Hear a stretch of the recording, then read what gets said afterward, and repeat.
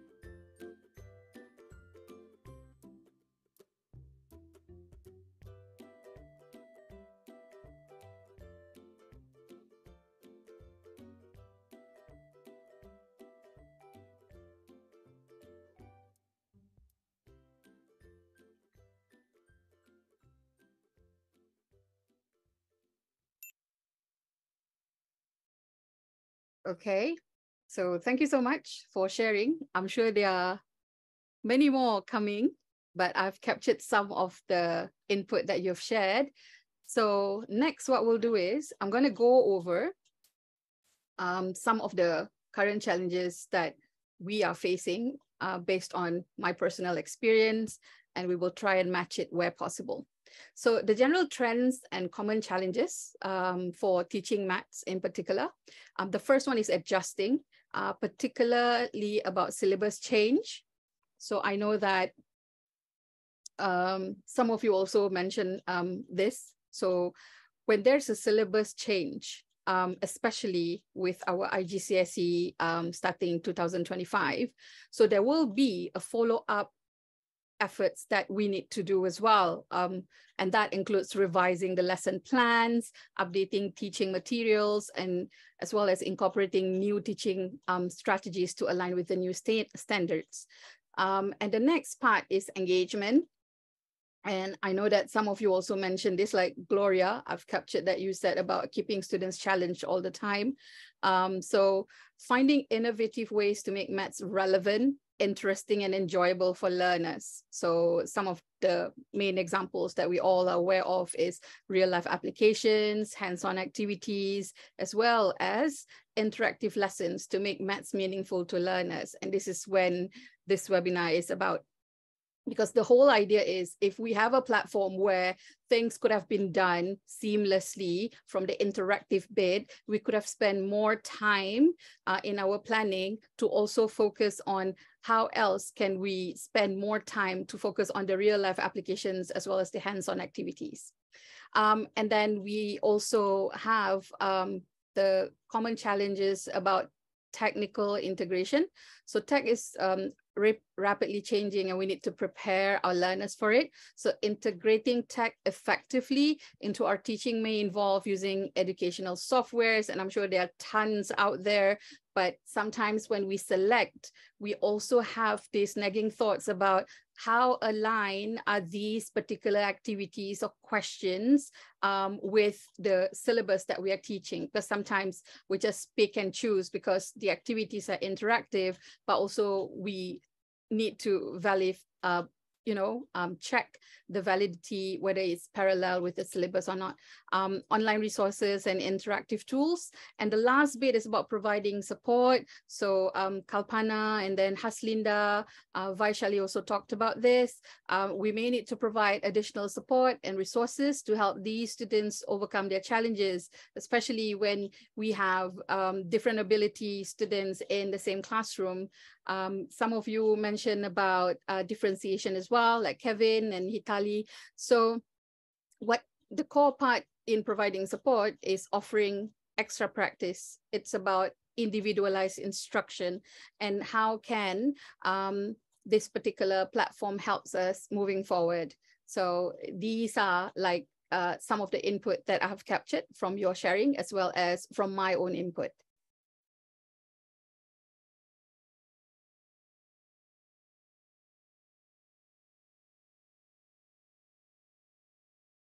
So um, I went through, um, I have like a early sneak peek about Cambridge Online Mathematics, and these are the interesting findings from my point of view. So I'm just going to go over this very briefly before David will just tell you all the surprises and all uh, things included. So the first part is it's standardized because you can go to the online platform and then you know you can access the learner's book. So whatever you have in the physical book will be what you have um, in this platform as well. And it is structured as well in the sense that the contents from the learner's book is structured and planning friendly. And there are section whereby it contains all the contents arranged in order from the learner's book.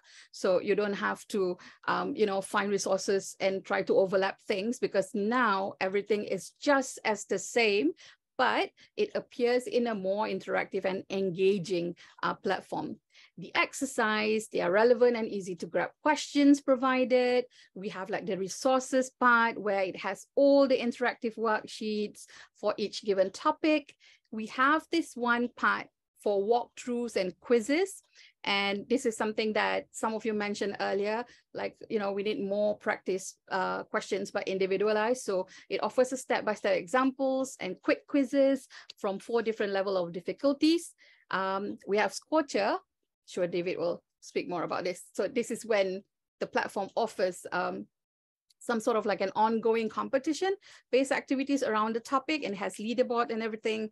And last but not least, the task manager. It allows you to assign work uh, to groups, individuals, or class. So this is very important when we want to tackle differentiation bit of our teaching and learning.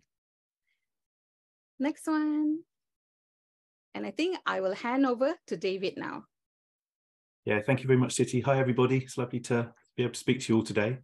Um, that's sort of a little sneak preview of what's going to be what's going to be coming up. We're going to be going through a lot of those in a bit more detail and be able to say a little bit more about them all. But just to start off with, I wanted to mention that very soon all of our Cambridge Online Maths products are going to be available through our platform Cambridge Go.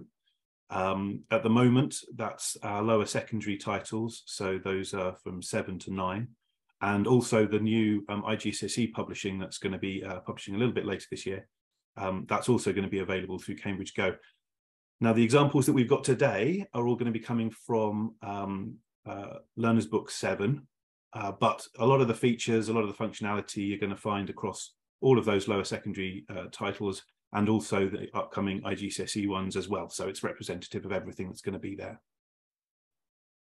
Okay, so I think uh, the first little bit then, if we start to go through and we can show you some of those different bits that Siti was talking about. When you first uh, log in uh, and open the product, you'll land on this dashboard. And this has a few of the most common sort of uh, bits that you'll want to be accessing. And it's also uh, how you're going to get around all of the different features. So uh, to pick up on the first bit that Siti mentioned then, um, first of all, we organize everything by um, uh, the book. So on the next slide, you'll see that the structure is exactly the same. We use the same chapters, uh, all of the same topics. So everything lines up. You'll be able to find all of the resources for each of those different areas, including all the extra stuff that we'll talk about uh, for the book there. And uh, we can see what that book content looks like as well on the next slide. So here, um, this is where you've got all of those same explanations, um, all of the worked examples, all of that material is available online so that uh, uh, anyone can access that uh, in the digital product. Then we get into some of the more uh, sort of interactive bits. So uh, the first one then is the exercises. So all of the exercise questions from the book are included in the product and are available to be submitted online. So what you can see here is um, each of the questions will be there and the students will get a workspace for them to put their working into. They can type their working in and there are uh, maths keyboards to help with certain symbols um, or they can draw, which is obviously more useful for certain types of question. And then finally, we let uh, everybody upload an image for, to show their working. So they could take a photograph if they've been working on uh, paper and be able to upload that. And something that we've heard in our research is that um, there is some uh, sort of a need for students to be able to demonstrate that it's their working. So I don't know if you found that in in your uh, uh, in sort of your experience as well yeah so for us it's it's very obvious because for teachers because we know like there's only one answer but sometimes we also want to see like how the learners are actually working their way out for it.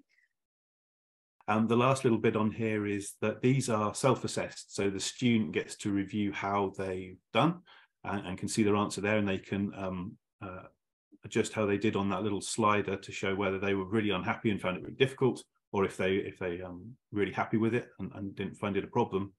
And there's also uh, the option for them to set a flag against the question, and this is useful if they had a particular challenge with it. And now, when we look on the next page, all of this is available for you as a teacher to be able to look at in a number of different reports. So you'll be able to go in and see the answers that the student has submitted, um, and you'll be able to add feedback for that to be able to um, uh, send that back to the student.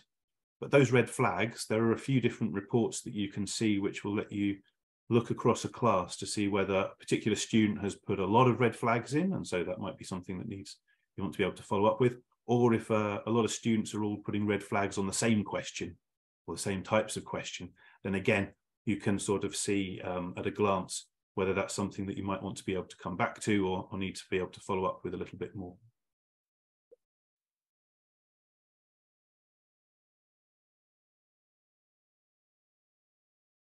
The next bit then is around um, some additional resources. So we add in additional resources for each of the topics um, to help with uh, more practice and more opportunities for learning. Uh, and so you'll find that many of them come with additional worksheets. So um, again, these are different activities, different um, questions, um, obviously, some topics uh, work a little bit better if you're working on pen and paper, if you're trying to do constructions, for example. That's really hard to do digitally. So again, these worksheets can really help out with that. And there's also a number of uh, interactive uh, sort of digital widgets, which again, a little um, interactives that students can, can use uh, to explore an idea or to practice some different questions, makes it a little bit more engaging. So there's a little bit extra there as well if I could add as well, mm. David, mm. this is something that's superbly useful for us teachers as well, because especially to um, some of us that uh, have to teach uh, learners with different abilities in the classroom, having all these ready to be used uh, means there will be lesser amount of time spent for us to prepare a multiple um, options of resources. And that's how this will help uh, for our planning time as well and just because I, have just because I've seen it in in chat there, uh, yes, these worksheets can all be printed off. They're PDF, so they can be printed and, and used offline. The next uh, sort of uh, feature that we have there is a, something called a walkthrough. Now, I quite I quite like walkthroughs. These are this is one of the bits that I, I think is really useful. So uh, many questions uh, when we're inputting them digitally are just asking for the answer, and we do that. We'll show that in a minute. But what walk, walkthroughs do is actually ask the student to break down the process of how to do that particular calculation.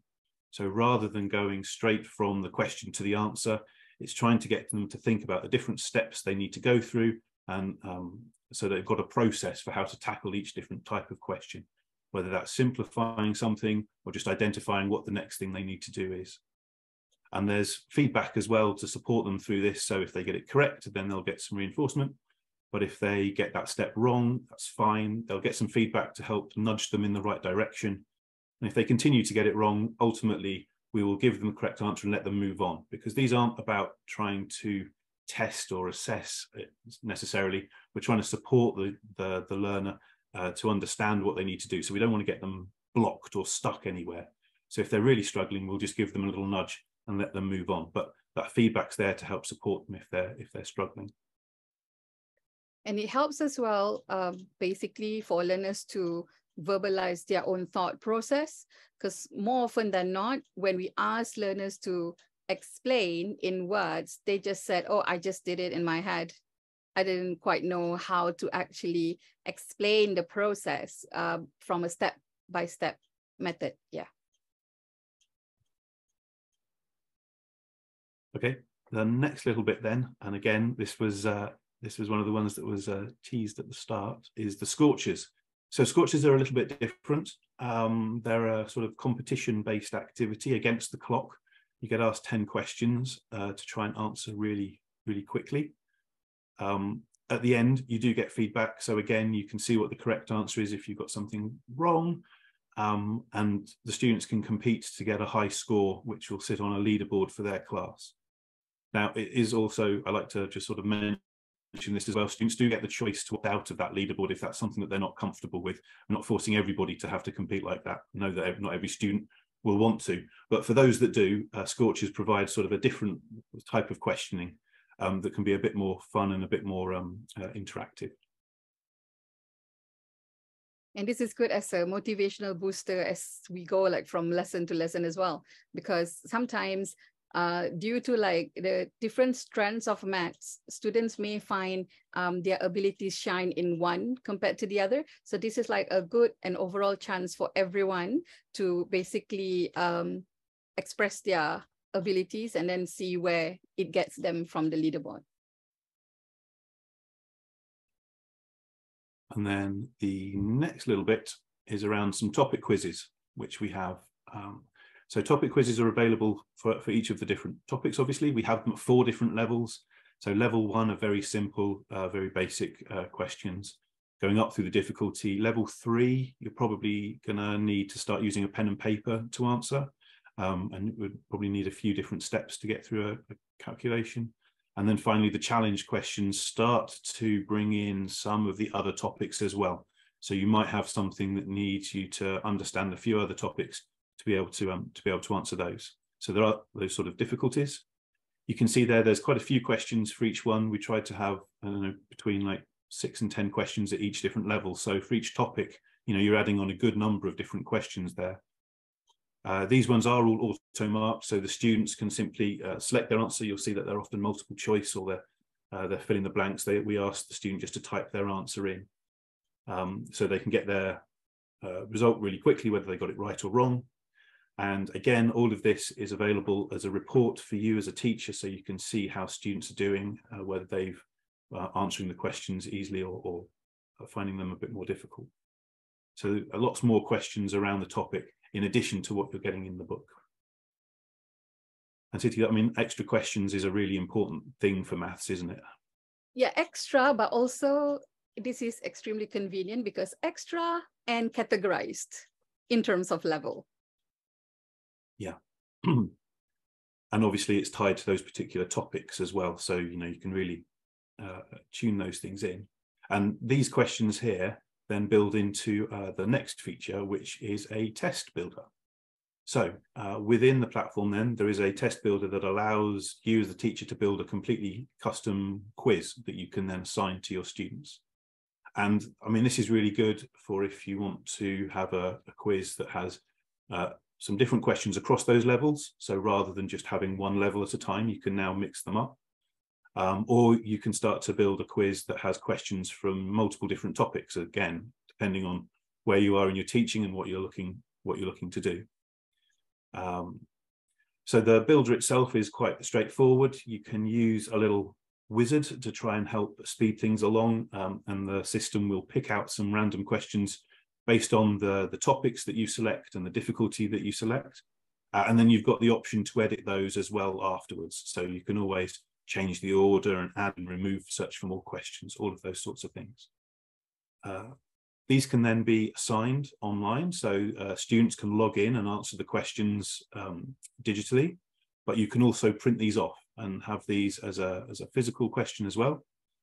Um, uh, and to help things along there, you can also get the answer key automatically generated as well. So if you are marking these by hand, um, you don't have to worry and go through all of it itself. Um, once you've created that test, the answer key will be there available for you as well. Now, for the ones that are, are answered online and done digitally, again, there's a report there that's available so that you can see the scores that students are getting, and you'll be able to um, go in and see their answers as well. So if they've got things wrong, you can see which which of the options they were selecting, or be able to pick up uh, uh, sort of where they where they uh, yeah, where they went wrong when they were answering that question. So the reports are really useful to dig into as well. So yeah, this is really powerful tool. Yeah, go on, Siti. Putting things into perspective, of course, um, for us teachers as well, we want to have physical tests, which is absolutely true.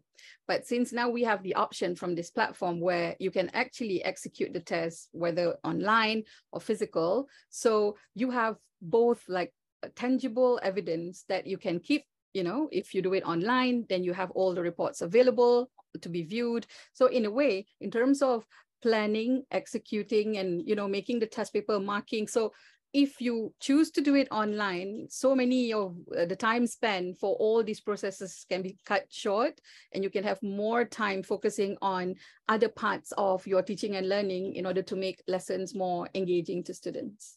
Yeah. Okay, and then the last feature that we want to talk about, and I think this is going to hopefully uh, speak to some of the um, bits you were mentioning in your challenges when we were talking at the beginning, is the task manager. So what we've shown is that there's lots of different bits of content, uh, lots of different resources uh, within our Cambridge Online Maths products. And um, uh, you know, an obvious challenge is it's quite difficult to get students to go to the right place to look at the right thing for what you're asking them to do. So what Task Manager allows you to do is build these little sequences of uh, resources, um, and then this can be assigned and students will work their way through. So for example, we could ask them to look at the lesson notes, that's the book content that we were showing at the beginning. We could ask them to have a look at um, a walkthrough question and then do some, some of those questions, some of those topic questions that we just showed.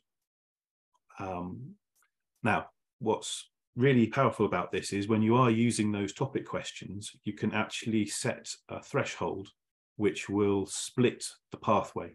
So the example you can see on the screen here is um, in that second um, node, you can see we've got some questions. If students score above 70%, then they'll go on one particular journey and we've asked them to do some of the exercise questions as the next step. But if they score less than 70%, then we've sent them on to do a walkthrough. And this is where you can get your differentiation in. Siti, I'm sure there's more that you want to say about this bit. Oh, yes, of course. it's like the biggest challenge for a teacher um, teaching maths is always, always about um, differentiation. Um, especially when we don't stream our, our students in the classroom. So imagine like how uh, tough and challenging it would be and still are to all of us, um, whereby in terms of instructional strategies, we have to have like a different set of instructions um, to cater to the different abilities of the learners. But now when, when you see it as a flow chart here, basically it means that we now have the um, capacity and ability to actually map out all the paths that are workable, that is individualized, and that will help our students further and this is parallel to their ability of accessing the content knowledge at that particular time. I'm pretty sure, David, that if let's say we have different threshold and we can reset this particular um, lesson again, then learners can then explore like the different parts as well, according to what we said, right? Yeah. Yes, if so, you assigned it a second time, then they'd be mm. able to come through and um, uh, yeah, depending on the thresholds on that particular attempt, if they yeah. were higher, then they would obviously go on the other path. Yeah. Either um, it depends on their first attempt and the marks actually lead them to the threshold. Um, if let's say we're teaching a bottom set, we've already set like different threshold and maybe we just let the first threshold done like 30% and above, then we can actually use the same, more or less the same like flow chart, but we it can be redone many, many times when we get the threshold a bit higher, a bit higher. So that's how we scaffold as well, so that learners can see where the projection of this particular topic will go and what are the next steps to it. Yes.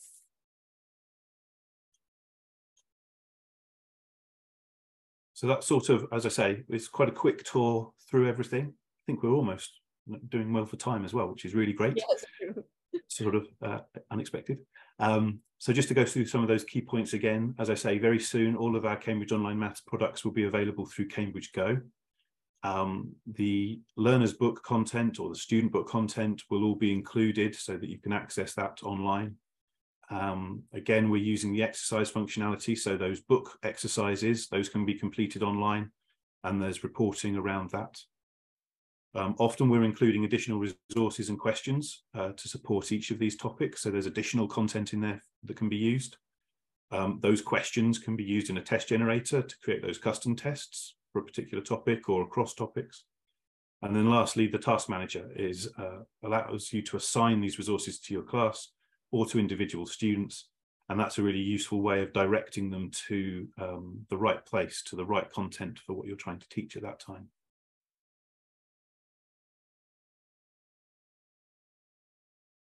So I think Tina. Uh, Great, thank you so much. Assuming some so, questions have come in. Yes, so the next part is we would like to do a Q&A. So we can see there are some questions coming in and thank you for answering some of those already. So one of the key ones really were, um, can the worksheets be printed off? So I believe this might have been answered in the chat already, but if David, you can confirm. Uh, yes, yes, I mentioned it, but yes, absolutely. Those worksheets that we showed, those are PDFs, so they can be downloaded and printed off, um, uh, so they can be completed, you know, with pen and paper. Yeah. Great. And the next one we have is um, my question is why is it limited for a period of 30 days on test makers and accessing online mathematics? Um, it's from Jack from Kenya Mudasa International School. The 30 day, so um, it's possible if it's 30 days, then you've, I'm going to make some assumptions here. So I apologize if I'm making the wrong assumption. Um, we do offer trials. So if you uh, have registered on Cambridge Go, you can go in and trial these products. And those trials will be a 30 day, a limited 30 day trial. But if you've bought um, uh, one of our products, so a book with a bundle, you'll often find inside the front cover there's a scratch off code. And the license lengths there tend to match the duration of the course. So if it's an IGCSE course, then there will be a two-year license in the front of the book. If it's a lower secondary uh, course, then it tends to be one year because that's um, uh, they tend to be one-year courses as you go from seven to eight to nine. So the duration will will match the length of the course there. But it's possible, I know this, sorry, again, this is a bit of an assumption. If you're seeing a 30 days, it might simply be a trial that will let you look, go in and look at the content and you can explore some of the things that we've shown today. Anybody can do that. Great. And uh, we will paste a link in a bit in the chat where you can all go and have a look on the page and uh, see how you can request a trial if you're interested. Um, so the next question I have is, do we need to pay separately to get the access to the Cambridge Online? This is a question from Kalpana. So again, um, we we offer bundles uh, with our books. Um, so it depends on if you look, it's going to depend a little bit on the product that you're buying. But if you're um, purchasing a, a, one of our lower secondary books, you'll find that they come with access included. Um, and again, if you look on the inside of the front cover, you'll find uh, the code there and instructions on how to register and, and get set up to activate it. We also offer digital only. So if you're looking for um, uh, digital top up, if you're looking for some just extra digital access, then um, uh, we do that too. So um, yeah, those products are, are available. Have a look on the website. You'll be able to find uh, the different things there. But yes, we tend to bundle them with our with our product, with our print product. Brilliant. So the next question is from Rita. So does each learner need to have a login ID? Uh, yes. So because um, uh, so for their for each of for the reporting to work and to make sure that their work is on on sort of their account, uh, they will um, uh, they will each need their own uh, their own login details. Um, again, we were saying this is soon going to all be through Cambridge Go, so there's onboarding um, support there. You can uh, create all of those accounts, and then they will be able to activate that code. As I said, it comes in the front of the book, uh, and then their work will sit in there. So as they're um, uh, as they're sort of working on these tests, working on the tasks, answering all of those questions, that means their data will sit with their account. And so when you're doing reporting, you'll be able to see what they're doing. So yes, everybody will need their individual account. Right.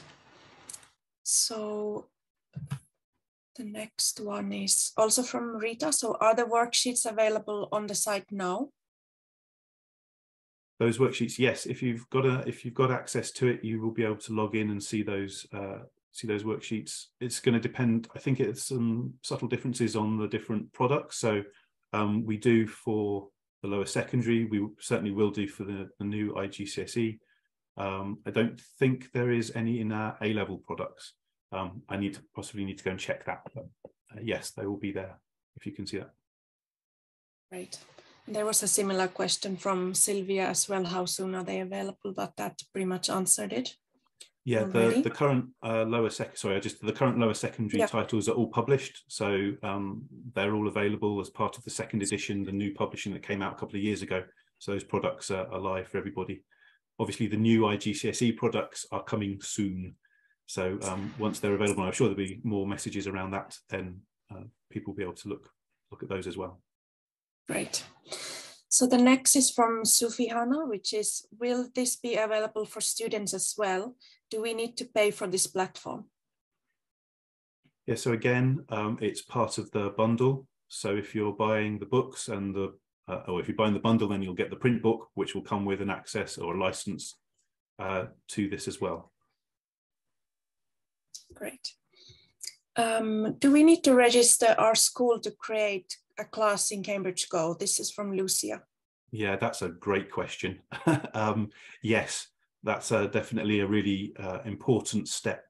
So to be able to see the reporting, to be able to assign work, we need to be able to have both you as the teacher and uh, your students all in the same school so that the system knows who to send it to. Um, and again, there'll be um, tutorials and support on our support site for how to do that. But very briefly, what you'll need to do is uh, register yourself on Cambridge Go and then register your school. Now, it might be if your school's already set up, we have a search function so you can have a look for it. Um, if you're if the school's already there, you can ask to join. Um, but if not, then you can continue that uh, registration process to get your school set up. that will then allow you to um, upload all of your students. And again, there's support for how to do that. It's self-service, so you're not dependent on us, um, which makes life a little bit easier. Um, so be able to upload everybody. And then finally, you'll need to set up those classes. Uh, and that's just, um, uh, that's done within the, the product itself at the moment. But that will be a step that will let you then um, you know, assign work to a whole group of students all in one go rather than having to pick them out individually. So yes, really important to get your school set up and get everybody onboarded to be able to use some of those uh, functions that rely on, on having that relationship between you and the students uh, all together. Excellent. Um, there was also, um, is this also available for primary and um, is it available for upper secondary? Okay, so um, again, this so we currently have it for lower secondary, so that's uh, seven, eight, and nine. We don't have anything for primary at the moment, although uh, that's an interesting question.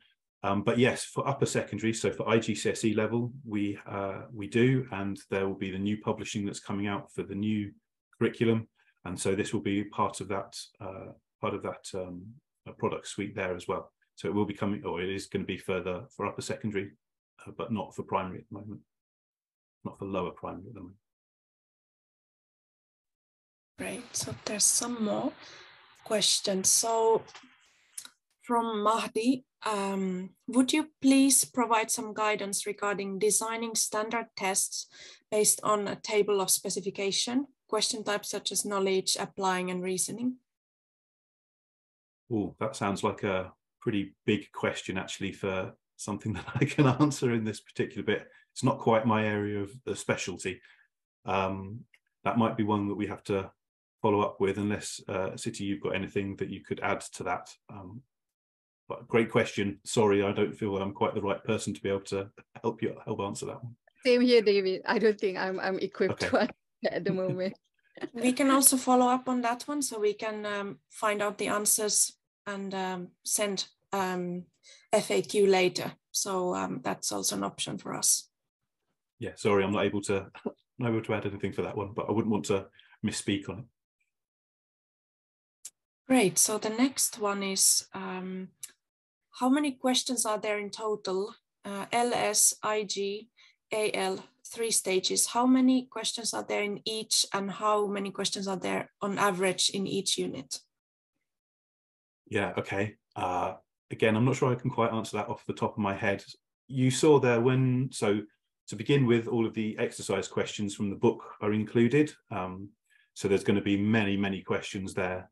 But you also saw just when we showed those um, uh, those topic quizzes at the end there, we were trying to get somewhere between sort of five and 10 uh, questions at each different level. So you're looking at, I don't know, somewhere between 20 and well maybe on average about 30 questions per topic across all the different topics. I mean there's quite a lot of extra questions there um, across those across those different levels. So certainly for lower secondary there's going to be uh, plenty um, the same will be the case for igcse at a level i think the product is slightly different we don't have so many we don't have the questions in the the topic questions like that i think we focused more on the exercise questions so there will be a, a few less uh, for, for that one there. Um, but hopefully that gives you some idea of uh, the number of questions. We've, we've tried to make sure that there's there's a there's a good number across all of the different topics. Brilliant. So um, there's one question from Lot. Um, does this come at any cost to the learner or the teacher? Yep. So again, um, uh, it's all wrapped into the bundle when they're when they're buying the book. So uh, that's it's not an it's not necessarily it's not an additional cost in in terms of that. Um, it's already included within that price there. So if you're buying the print book, have a look on the inside of the front cover. Um, if you've got a bundle, you'll see that there's a code there with some instructions. Um, so that might be the way. Brilliant. Um, there's one from Leo. Um, is there a plan to add the test function in the AL stage?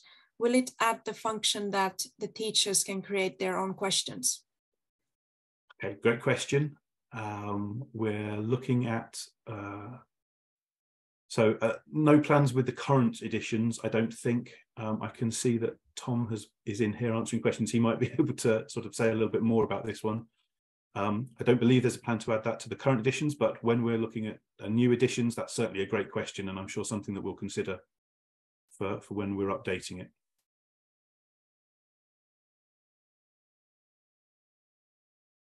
Brilliant.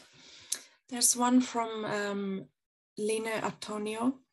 Um, does the book include all IGCSE courses? I think yes, for the new editions that are coming out. So I think there will be something available for core and extended, um, and also uh, I just need to think what the other ones are. It's going to be additional and international as well. Tom, message me if I'm getting this wrong. I apologise. Um, uh, but yes, so there will be something there for uh, uh, for all of those new IGCSE courses coming along. Excellent. There's one from uh, Josu, which is when is this uh, going to be available? Thanks. Okay, yep. So uh, as I say, the current lower secondary titles are already published and so they are already available. Um, the new uh, IGCSE publishing, I think is coming soon. I don't, I, am sorry, I don't have a, a date uh, uh, in the top of my head, but um, yes, I think those are coming soon. I'm sure there'll be more messages around them. Uh, so as soon as, uh, as soon as they are, um, uh, then they'll be available. Uh, would there be information on the website around the pub date for that? There will be limited information, um, but we tend to update the website as soon as more information is available. Some of some information is already there, um, yeah. but yeah, once things are publishing, then we yeah. will add Tom, more. That's great. Uh, yeah, Tom's just uh, confirming with me there. Yes, there is more information on the website. So yes. um, uh, have a look for have a look for that. I'm sure we can find some links if if if that's helpful. Yes, we'll paste some links in the in the chat also. So there's one from uh, Sergio. Um, would I be able to register my online teaching platform in which I'll do online teaching to groups of students in brackets classes, but this is not a typical school?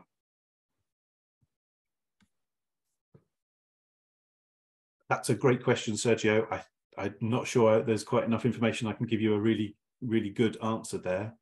Um, we have looked at some integrations with different systems. So it might depend on the online teaching platform that you're using. Otherwise, it's likely that you'll have to sort of set yourself up in Cambridge Go uh, and be able to uh, to uh, be able to use it and uh, be able to reference across uh, across the two like that. I'm sorry, I've not given you a very good answer to that one. Um, uh, but that's also okay. I think it might depend on. I think it might depend on your teaching platform, but it's likely that you might have to set up your your groups and classes a second time uh, in Cambridge Go to be able to to be able to use the platform. Depends on what it will be. Sorry. Yes. And like I said earlier, we can do a FAQ. So any information that wasn't covered here, then we can find out and send FAQ sheet later on. Great. Um, there's a question from Hebert.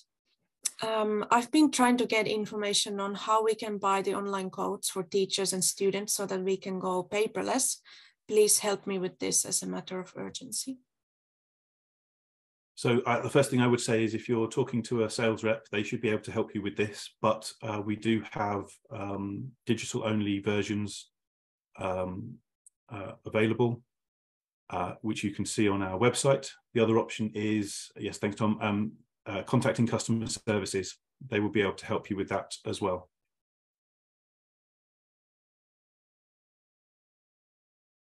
Great. And the last one in the Q&A is from Jaishri. Uh, suggestion, space is required in the workbook for the working of the questions. Can that be provided? Again, great question. Um, I'm just going to uh, wait for wait for Tom, who's our commissioning editor, or senior commissioning editor, to come and help me with that one. Um, So yes, that's apparently something that's being looked at. So that's being reviewed at the moment. So again, good question, and uh, we're looking into it. Thank you.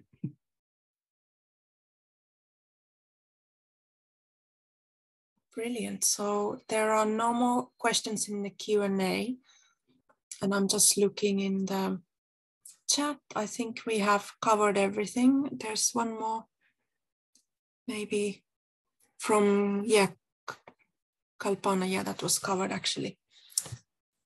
So looks like, yeah, we are, we are done with the Q&A.